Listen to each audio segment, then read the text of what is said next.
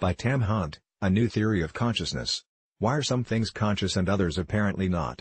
Is a rat conscious? A bat? A cockroach? A bacterium? An electron? These questions are all aspects of the ancient mind-body problem, which has resisted a generally satisfying conclusion for thousands of years. The mind-body problem enjoyed a major rebranding over the last two decades and is generally known now as the hard problem of consciousness, usually capitalized nowadays, after the New York University philosopher David Chalmers coined this term in a now classic 1995 paper in his 1996 book The Conscious Mind, In Search of a Fundamental Theory. Fast forward to the present era and we can ask ourselves now, did the hippies actually solve this problem? My colleague Jonathan Schooler University of California, Santa Barbara, and I think they effectively did, with the radical intuition that it's all about vibrations, man. Over the past decade, we have developed a resonance theory of consciousness that suggests that resonance, another word for synchronized vibrations, is at the heart of not only human consciousness but of physical reality more generally. So how were the hippies right? Well, we agree that vibrations, resonance, are the key mechanism behind human consciousness, as well as animal consciousness more generally. And, as I'll discuss below, that they are the basic mechanism for all physical interactions to occur. All things in our universe are constantly in motion, vibrating. Even objects that appear to be stationary are in fact vibrating, oscillating, resonating, at various frequencies. Resonance is a type of motion, characterized by oscillation between two states, and ultimately all matter is just vibrations of various underlying fields.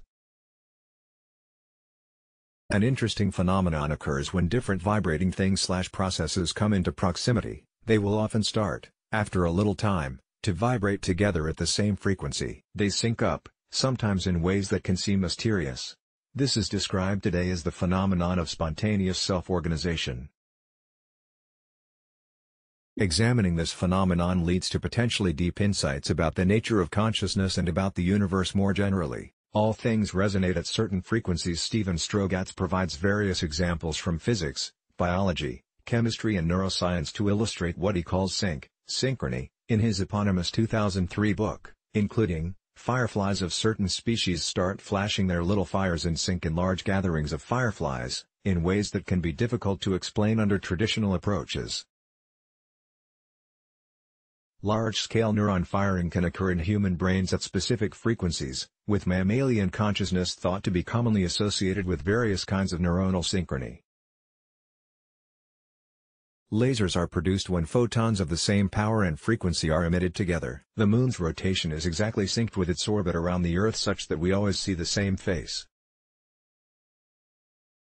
Resonance is a truly universal phenomenon and at the heart of what can sometimes seem like mysterious tendencies toward self-organization. Pascal Fries, a German neurophysiologist with the Ernst Strungmann Institute, has explored in his highly cited work over the last two decades the ways in which various electrical patterns, specifically, gamma, theta and beta waves, work together in the brain to produce the various types of human consciousness. These names refer to the speed of electrical oscillations in the various brain regions, as measured by electrodes placed on the outside of the skull.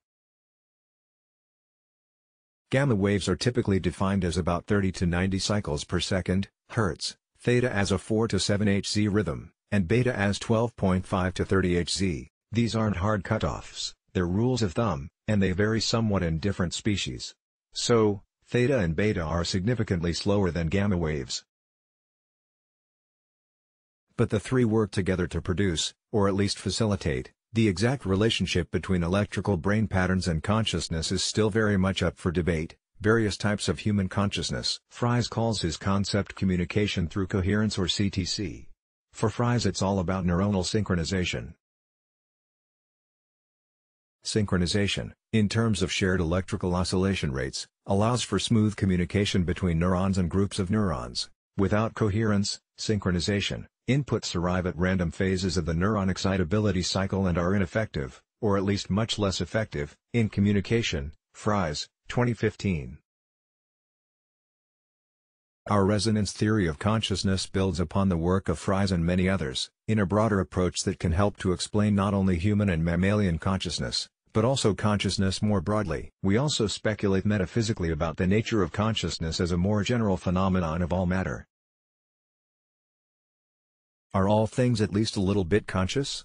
Based on the observed behavior of the entities that surround us, from electrons to atoms to molecules to bacteria to paramecia to mice, bats, rats, etc., all things may be viewed as at least a little conscious. This sounds strange at first blush, but panpsychism the view that all matter has some associated consciousness, is an increasingly accepted position with respect to the nature of consciousness.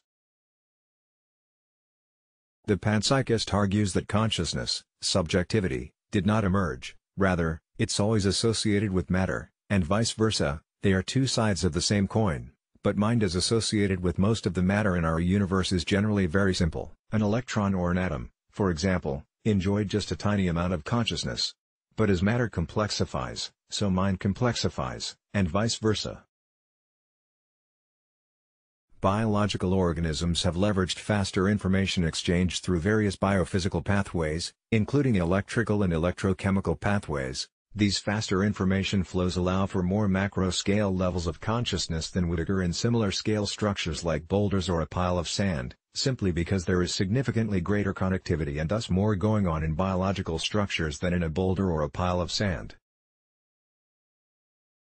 Boulders and piles of sand only have thermal pathways with very limited bandwidth.